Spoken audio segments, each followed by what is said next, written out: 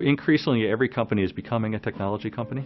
This is very clear. If you're a large organization and you don't have great technology in place, it's going to be hard to manage yourself and to keep up with your competitors. And what organizations need to do is really transform that legacy environment into one that's much more modern, one that's much more agile and efficient. The Internet of Everything is going to create so much data, and it's going to create so many opportunities.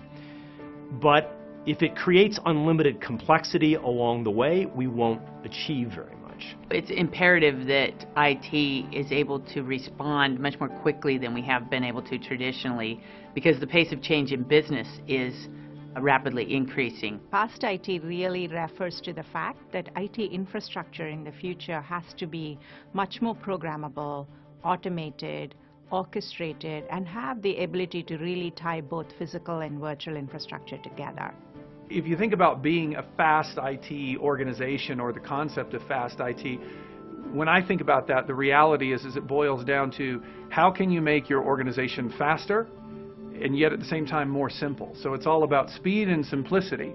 The same principles that have applied in old IT apply in new IT. They're just turbo powered. And the ability to respond quickly brings you into a different innovation paradigm. When you think of the concept of agility, you want to have a fluid, dynamic type of infrastructure where our resources become just as dynamic and just as fluid, and we're able to move them around as business policy dictates. Long term, the companies that are going to be most successful are the ones where business management, business leadership is effective at exploiting technology to drive innovation and, and produce competitive advantage. So organizations need to figure out how they can spend more of their IT budget on those innovative technologies, those enabling technologies that are going to allow them to respond better to the business. Technology doesn't stand still, nor should IT departments.